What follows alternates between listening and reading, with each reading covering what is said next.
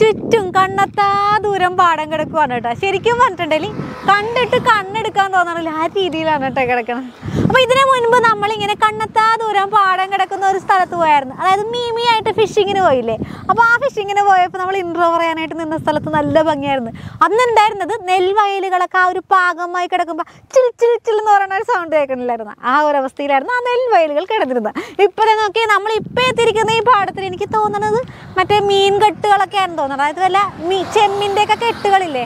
അതാവാനാ chance നോക്കി full അങ്ങ് നിരന്ന് കിടക്കുവാണ് കേട്ടോ. കാണാൻ നല്ല ഭംഗിയാണേ.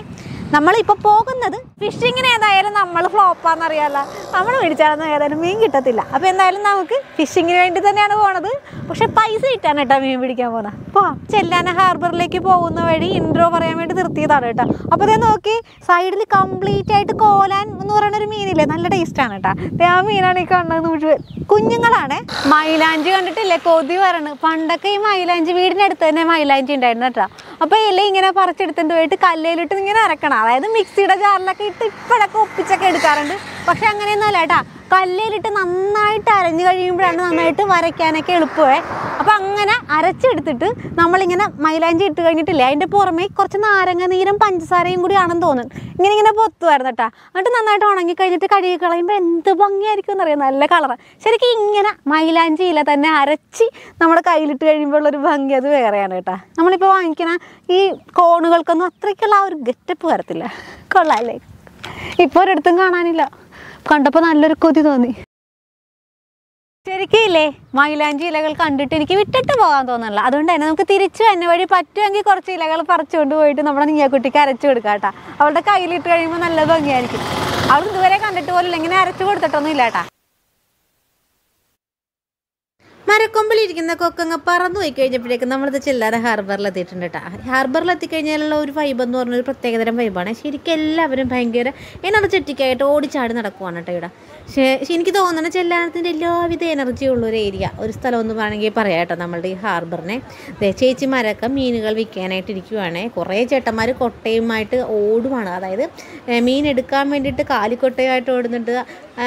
ബോട്ടിൽ നിന്ന് കൊട്ടയിലേക്ക് മീനുകൾ നിറച്ചിട്ട് ആ ഓരോ ഓരോ കൊട്ടകൾ കൊണ്ടുവന്ന് അവർ വെക്കേണ്ട സ്ഥലങ്ങളിലൊക്കെ വെക്കാനുള്ള ധൃതി പിടിച്ചുള്ള ഓട്ടത്തിലാണ് എല്ലാവരും. ഇന്നില്ലേ കൂടുതലായിട്ട് ഉണ്ടായിരുന്നത് നോക്കിയേ കൊഴുവയും ചെമ്മീനും ആയിരുന്നു ഇത് കൊഴുവ ചാകരയാണോ എന്നൊന്നും എനിക്കറിയാൻ പാടില്ല. എന്തായാലും എന്തേ നമ്മൾ കുറച്ച് കൊഴുവ വാങ്ങിച്ചിട്ടുണ്ട്. ഒപ്പം കുറേ കൂട്ടുമീനുകളായിട്ട് കോലാനൊക്കെ കിട്ടിയിട്ടുണ്ടായിരുന്നേ. എല്ലാം കൂടി മുന്നൂറ് രൂപയ്ക്കാണ് കേട്ടോ ആ ചേച്ചി തന്നതേ. ഈ മീൻ മേടിച്ചങ്ങ് തിരിഞ്ഞ് കഴിഞ്ഞപ്പോഴേക്കും കണ്ടൊരു കാഴ്ചയാണ് കേട്ടോ. അതേ കുറേ ചേട്ടന്മാർ ബോട്ട് കരയ്ക്ക് കയറ്റാൻ വേണ്ടിയിട്ടുള്ള പരിശ്രമത്തിലാണ്. അപ്പോൾ ഇവർ ചെയ്യുമ്പോഴേക്കും ഇല്ലേ നല്ല ആടിപ്പാടി അതായത് നല്ലൊരു ഈണത്തിലും താളത്തിലാണ് കേട്ടോ അവർ ഈ ബോട്ട് കരയ്ക്ക് കയറ്റുന്നത്. അവർ നല്ല ആസ്വദിച്ചാണ് കയറ്റുന്നത്. ദേ അടുത്ത കപ്പൽ അടുത്ത ബോട്ട് ദേ കരയ്ക്ക് കയറിക്കൊണ്ടിരിക്കുന്നത് കണ്ടോ? അവരുടെ വർക്കൊക്കെ കഴിഞ്ഞിട്ട് കയറുവാണേ പിന്നെ നോക്കിയേ എന്തിനാ ഏറെ പറയണത്? മേളിലേക്ക് ആകാശത്തേക്ക് നോക്കിയാൽ പരുന്തും കൊക്കും പോലും ഭയങ്കര തിർത്തി പിടിച്ച് പാറി പറന്ന് നടക്കുവാണ് കേട്ടോ. എനിക്ക് വന്നിട്ട് മീനുകളുടെയൊക്കെ മണം അടിച്ചിട്ട് കൊതി വന്നിട്ടാവേ ദേ ഞാൻ നമ്മൾ പോരുന്നത് വരെ ബോട്ടിൽ നിന്ന് കൊഴുവ എടുത്തുകൊണ്ടേ ഇരിക്കുമായിരുന്നു കേട്ടോ. കൊട്ടകൾ നിറച്ച് കൊണ്ടേ ഇരിക്കുമായിരുന്നു കേട്ടോ. അപ്പോൾ അതേ പോരാനായിട്ട് ഇങ്ങ് മാറിയപ്പോഴേക്കും കണ്ടൊരു കാഴ്ചയാണ്. കുറേ കുട്ടികൾ അവിടെ നിന്നിട്ട് ചൂണ്ടയിടുന്നുണ്ടായിരുന്നു കേട്ടോ ചുമ്മാ ഒന്ന് ചെന്ന് നോക്കിയതാണ്. അപ്പോൾ ഒരാളുടെ കയ്യിൽ കിട്ടിയതാണ് കുഞ്ഞു തെരണ്ടീനെ കേട്ടോ ചെറുതായതുകൊണ്ട് തന്നെ അവർ പെട്ടെന്ന് തന്നെ റിലീസ് ചെയ്യാനുള്ള തത്രപ്പാടിലായിരുന്നു. അപ്പോൾ നമ്മൾ അവരെ ശല്യപ്പെടുത്താതെ വേഗം തന്നെ തിരിച്ചു പോന്നേ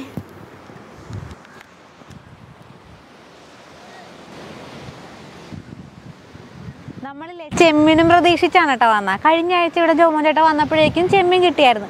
പക്ഷേ ഇപ്പോൾ നോക്കിയിട്ട് ചെമ്മീനൊന്നും കിട്ടിയില്ല. എന്നാലും കുറച്ച് മീനുകൾ മിക്സഡ് ആയിട്ടുള്ള മീനുകൾ കിട്ടിയിട്ടുണ്ട് കേട്ടോ എന്തൊക്കെയുണ്ടെന്ന് നമുക്ക് വീട്ടിൽ ചെന്നിട്ട് നോക്കാവേ. അപ്പോൾ ആ സമയത്താണ് ഇവിടെ കുറേ പേര് ചൂണ്ടയിടുന്നുണ്ട്. അപ്പോൾ ആ മീനുകളൊക്കെ ഒന്ന് എന്തൊക്കെ കിട്ടണമെന്ന് അറിയാൻ വേണ്ടിയിട്ട് പോകുന്നതാണ്